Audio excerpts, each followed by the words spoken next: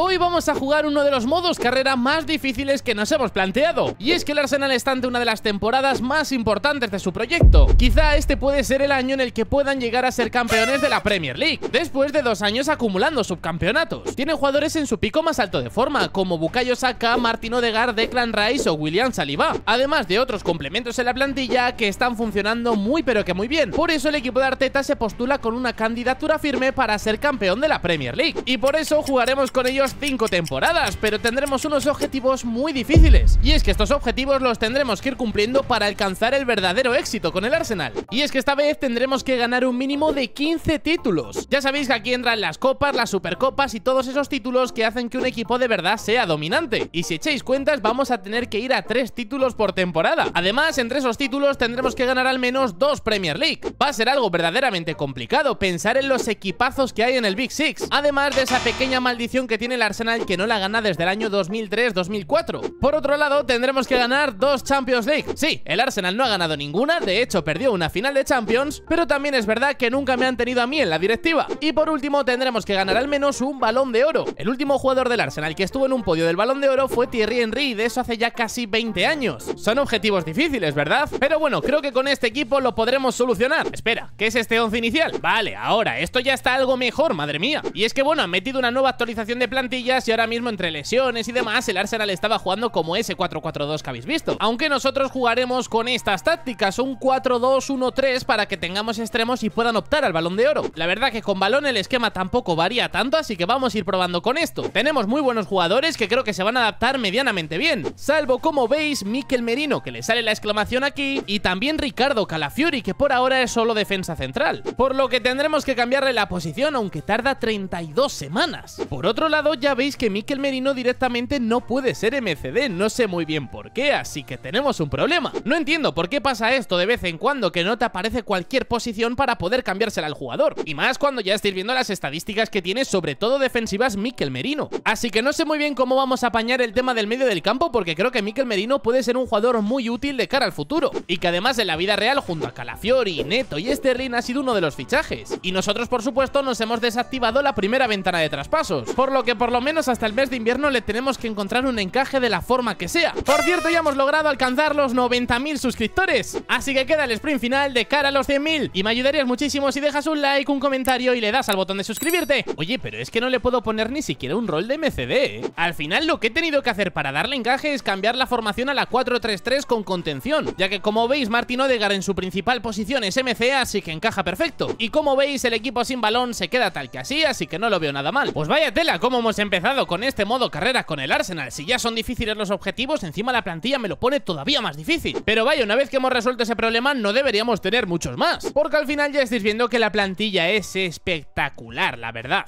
Lo único que yo creo que vamos a tener que tener un poquito de cuidado va a ser con la gestión de minutos, porque no hay sitio para todos. Pero vaya, yo creo que podemos empezar a simular esta primera temporada hasta el mes de enero y a ver qué tal. Y hombre, menos mal que conseguimos encajar bien a Mikel Merino, porque como veis ahora mismo está liderando la tabla de asistencias. Por cierto, también logramos cambiarle la posición a Ricardo Calafiore, lateral izquierdo, pero eso sí, no conseguimos tener a ningún jugador nominado al Balón de Oro en la primera temporada, por lo que como ya imaginábamos no vamos a ser candidatos en este primer año, a lo que por el momento sí que estamos siendo candidatos es a la Premier ya que estamos líderes en la mitad de la temporada, y ya estáis viendo que nuestros perseguidores ahora mismo son tanto Aston Villa como Manchester City como West Ham, sorprendente, sobre todo tanto Aston Villa como West Ham. En la Champions, como veis, por ahora vamos muy bien, nos quedan dos partidos para terminar de encarrilar este top 8, y tenemos la primera baja, la de Alexander Zinchenko que lo he vendido directamente al Borussia Dortmund, ya que como veis Ricardo Calafiori ya es lateral izquierdo y también teníamos a Kieran Tierney. Y la verdad que tener tres laterales izquierdo que me estuviesen pidiendo jugar y demás, creo que al final era mejor vender a Zinchenko. Y otro que también se ha marchado ha sido Raheem Sterling porque no estaba jugando. Y es que a ver, Martinelli lleva 17 goles en 27 partidos y es que no está jugando ni siquiera Trossard como para que estuviese jugando Sterling. Y la verdad que hay que decir que el tridente está funcionando muy bien en ataque, está funcionando muy bien metiendo goles, así que que así siga, porque vamos a seguir simulando y a ver qué es lo que nos encontramos en esta temporada, en la que os recuerdo que tenemos en juego cuatro títulos, y nos hemos encontrado con el primer título, con la Carabao Cup que le ganamos al Fulham, donde como veis Bukayo Saka fue el MVP de la final, y es que logramos ganar 0 a 2 al Fulham. Lo que también logramos ganar fue la Premier League, que lo conseguimos con 83 puntos. Ya os había dicho yo que el Arsenal estaba en el año perfecto para tratar de levantar la Premier, pero mucho ojo porque el Aston Villa Nos ha mantenido el pulso prácticamente hasta el final de la temporada. Han sido 76 puntos de los de Unai Emery. Por otro lado, también ganamos la FA Cup, por lo que hemos hecho triplete en Inglaterra. Y respecto a la Champions, la verdad que en la fase de liguilla quedamos muy bien, quedamos terceros con 18 puntos, eliminamos al Leipzig en los octavos de final, pero nos echó el Real Madrid en los cuartos de final, una pena. Al menos hoy han sido tres títulos en Inglaterra, por lo que hemos dominado el fútbol inglés. Y como ya sabéis, hemos conseguido la primera de las dos Premier League que necesitamos y llevamos tres títulos de 15, que es un poco la media de títulos que necesitamos temporada a temporada. Respecto a nuestros jugadores, temporadón bestial de Bukayo Saka con 37 goles y 19 asistencias en todas las competiciones, estadísticas muy similares de Gabriel Martinelli con 37 goles también y 12 asistencias, y un poquito más bajas las estadísticas de nuestro delantero Kai Havertz que ha marcado 27 goles en total y 4 asistencias. Y por otro lado ya estáis viendo que tanto Mikel Merino como Martino de han marcado 7 goles y han repartido 14 asistencias, por lo que menos mal que conseguimos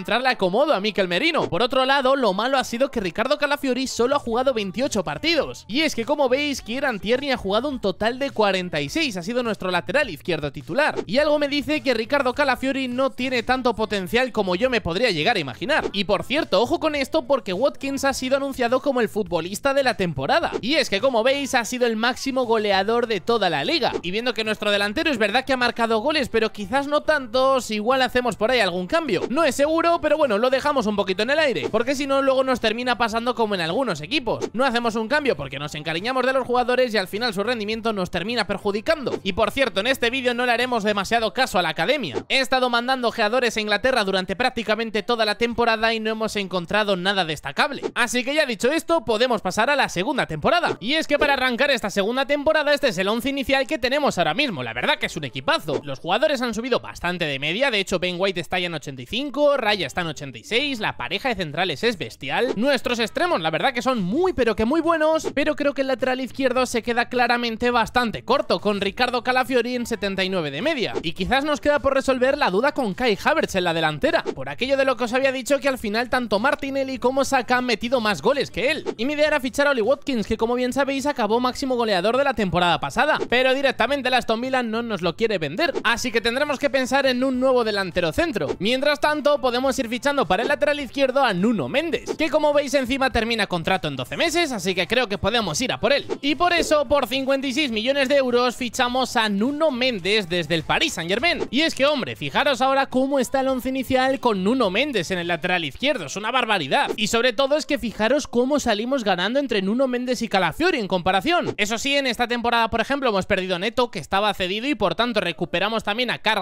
que estaba en el Real Valladolid y será nuestro segundo portero. Y como veis, ahora tenemos overbooking en el lateral izquierdo, por lo que venderemos yo creo que tanto a Nuno Tavares como a Kieran Tierney. Y es que realmente no creo que vaya a haber muchas más bajas, como mucho damos un par de cesiones en los jugadores más jóvenes, como Ethan Nuaneri, que tenía gran potencial, o Lewis Skelly, que también tiene ese gran potencial. Y hombre, si se acaban convirtiendo en jugadores de rotación a futuro, salimos ganando. Y con lo del delantero realmente es que no sé qué hacer, porque había ojeado a Sesco, pero como veis tampoco nos lo quiere vender el Leipzig. Y realmente mis opciones pasaban por Oli Watkins o por Benjamin Sesco y a ninguno de los dos nos lo quieren vender. Así que igual podemos aguantar una temporada más con Kai Havertz, ver su rendimiento y ya tomar una decisión al final de la temporada. Y al menos es verdad que Kai Havertz mantiene cierto potencial, así que confiamos en él. Así que creo que podemos simular ya esta segunda temporada y a ver qué es lo que nos depara. Y como poco un nuevo título con la Community Shield que le ganamos al Manchester City. Ya sabéis que la Community Shield es algo así como la Supercopa inglesa y que entre unas cosas y otras supone nuestro cuarto título ya con el Arsenal. Y por si acaso vamos a estar también pendientes de la gala del Balón de Oro. Vaya a ser que le dé alguno de los nuestros por ganar, ya que al final la temporada pasada, oye, conseguimos cuatro títulos. Y es que como veis ha ganado el Balón de Oro Bukayo Saka. ¡Qué barbaridad! Pues de esta manera cumplimos el primer objetivo de los que nos habíamos marcado. Y os prometo que me pensaba que este iba a ser uno de los más complicados de alcanzar. Pero vaya que entre el equipazo que tenemos en cuanto a las medias y las estadísticas individuales que consiguió Bukayo Saka la temporada pasada, casi que era normal que se llevase este balón de oro. Y ahora sí, vamos lo que nos queda de temporada. Y ya veis que en esta temporada hemos vuelto a ser campeones de la Premier League. Lo que quiere decir que nos hemos ventilado otro de los objetivos que teníamos marcados, que era ganar dos Premier League.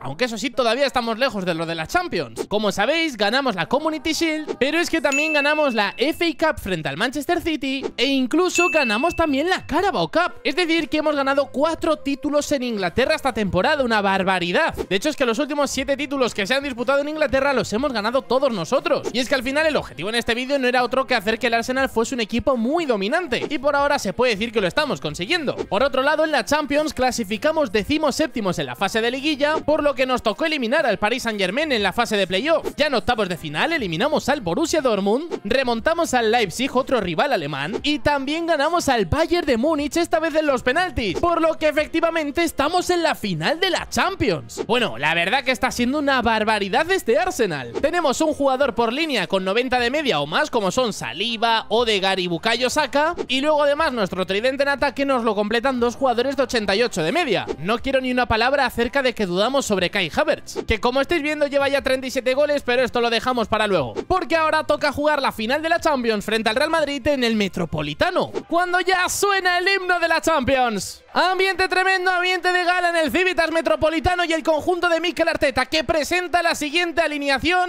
con los 11 titulares, con David Raya bajo palos, Ben White en el lateral derecho, pareja de centrales para Saliba Gabriel, en el lateral izquierdo Nuno Méndez, medio del campo con Declan Rice, Martino de Gary Mikel Merino, arriba el tridente Martinelli, y Bukayo Saka, es el 11 del conjunto Gunner. Y para el Real Madrid, el equipo de Carlo Ancelotti saldrá con Allison en portería en la línea defensiva, veíamos por ahí Eder Militao, Malogusto, Kim Min Luxo, Chuameni, Camavinga y el capitán Federico Valverde. No está Jude Bellingham. Arriba el tridente de ataque que lo conforman Kylian Mbappé, Vinicius Junior y Rodrigo Goes. Lo pedís mucho, así que os lo traigo. Vamos a jugar esta final y a ver qué tal se nos da este partido. El envío es largo para Bukayo Saka que arranca a correr. La está pidiendo Kai Havertz. Se marcha ahora de Eder Militao. Lo hace bien el alemán. Espera la subida de Gabriel Martinelli que aparece por el costado izquierdo. Se termina frenando el futbolista brasileño. La juega para Bukayo Saka.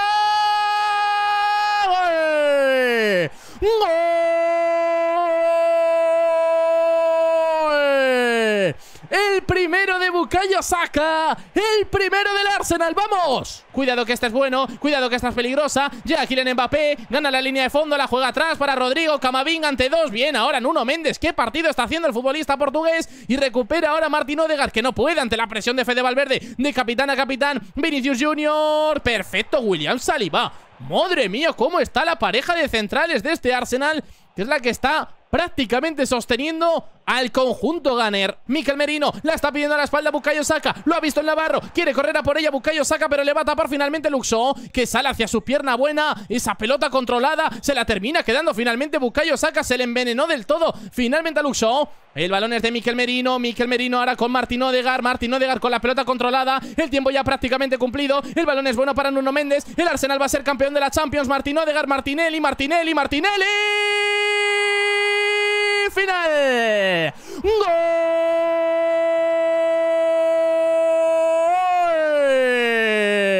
Y con esto, pam pam, se acabó. El Arsenal es campeón de la Champions con este 2 a 0. Y ahí está, termina la final de la Champions. El Arsenal es campeón. Pues por primera vez en su historia, el Arsenal va a ser capaz de levantar una orejona cayó en la final frente al Fútbol Club Barcelona hace ya prácticamente 20 años y ahora contra el Real Madrid sí que logran ser campeones de Europa. ¡Vamos! Pues con esto cerramos una temporada prácticamente perfecta en la que hemos ganado, si no me equivoco, todos los títulos que hemos jugado y que además conseguimos quitarnos la primera Champions League de las dos que necesitamos. Y ya os lo había medio enseñado antes, al final Kai Havertz ha sido nuestro máximo goleador con 37 goles y ha repetido de nuevo Bukayo Saka con 34 goles y 13 asistencias, pero ojo con Martin Odegaard. 32 goles en todas las competiciones y 22 asistencias. Vaya salvajada. También, por supuesto, lo ha sido la temporada de Gabriel Martinelli. De verdad os digo que me está pareciendo esto un equipo bestial este Arsenal, ¿eh? Creo que nunca antes habíamos tenido un equipo mejor. Así que vamos a pasar a la siguiente temporada y es que realmente no sé dónde podemos mejorar este equipo. Y en esta nueva temporada, ojo al tuit que pone Fabricio Romano acerca de que el PSG estaría mirando para ficharnos a Mikel Merino. Porque ya os digo yo que a Martin Odegaard no se lo vamos a vender. Y es que aunque no veáis las medias, nuestro equipo ahora mismo es este, donde quizás lo único donde podemos llegar a mejorar es donde Mikel Merino, además de también donde Ben White, que tiene 86 de media, y ojo, parece poco. Y es que si recordáis, Jude Bellingham fue suplente en la final de la Champions, una final de la Champions que luego terminaríamos ganando nosotros, por lo que creo que los agentes de Jude Bellingham estarían abiertos a una negociación para hablar sobre su futuro y conocer la viabilidad de que se una al equipo más dominante de Inglaterra, aunque eso sí, no vayáis a pensar que es un fichaje barato. Según esto, piden 312 millones, aunque igual les podemos convencer por 250. Me acabo de marear solo de pensar la de dinero que es esto. Así que voy poniendo en transferible a Mikel Merino, que por cierto 87 de media, pero es verdad que tiene 30 años. No es muy mayor, la verdad, pero si podemos reforzar ahí con Jude Bellingham, casi que mejor. Eso sí, trataremos de no venderlo a la Premier League, así que rechazamos la del Manchester United. Y en lo que se decida marcharse Mikel Merino, hemos vuelto a ganar otro título, la Supercopa Inglesa esta vez. Y ahora ya sí que sí, se ha terminado marchando Mikel Merino. Vamos a por Jude y vamos a comenzar ofreciendo 280 millones, a ver si nos ven la propuesta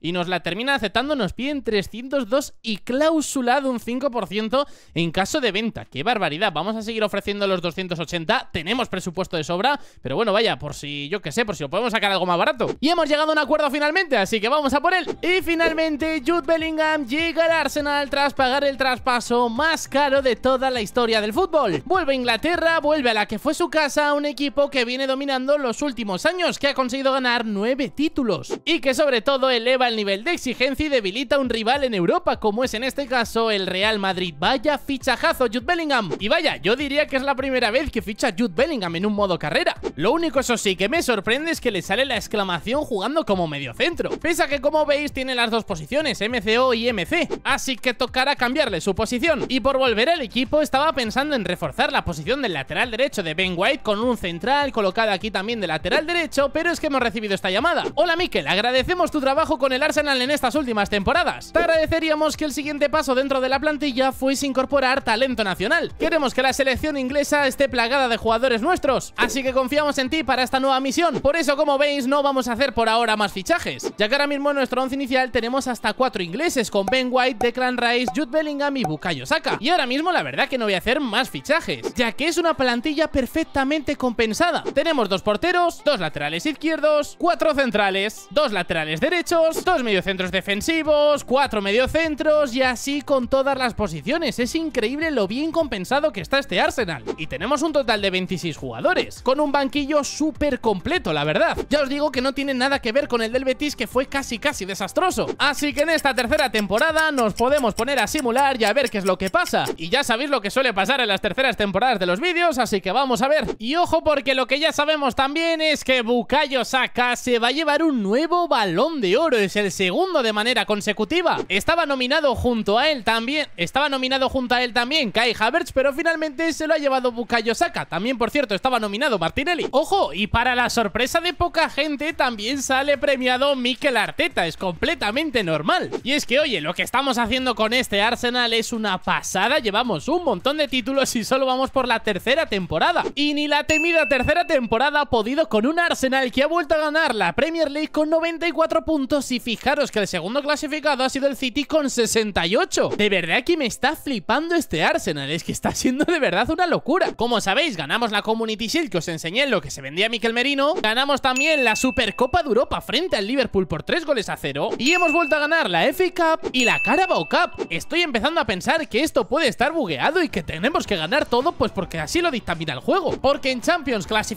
sextos en la fase de liguilla, en octavos tumbamos al Sevilla, en cuartos eliminamos al Bayer Leverkusen y en semifinales eliminamos al Barça. Por lo que estamos en una nueva final de la Champions. Y es que estamos ya en el año 2027 y no hemos perdido ni un solo partido desde el cambio de año. Justo el partido que tapo yo es uno contra el Manchester City que ganamos 2-3. Como veis en el mes de febrero ganamos todos los partidos. También ganamos todos en el mes de marzo salvo el empate frente al Sevilla. En el mes de abril ya estáis viendo que ganamos todo. Y en el mes de mayo más de lo mismo. Nos queda solo la final. Así que vamos con una nueva final de la Champions. No os podéis quejar con la tanda de partidos que estamos dando en este vídeo. Musiala, que bien lo ha hecho en el cambio de pie. Harry Kane en el área. Gol. Gol de Harry Kane. Gol del Bayern, cuidado Hemos sabido materializar las ocasiones Harry Kane, qué buena recuperación ahora de Jude Bellingham Que se resista a caer, qué balón ahora para Kai Havertz ¡Gol! De Kai Havertz para empatar la final. Que se tira hasta el bailecito. ¡Vamos! Empatamos el partido. ¡Sí, señor! Gabriel Magallanes que se frenaba. Cuidado, no hay fuera de juego. Harry Kane, Harry Kane en el mano a mano. ¡Qué bien David Raya! ¡Qué bien David Raya! Nos vamos a la prórroga. Uf. Bukayo saca, se queda con esa pelota, saca un buen centro al segundo palo, no llega el remate, la palmea Unai, ¡Gol!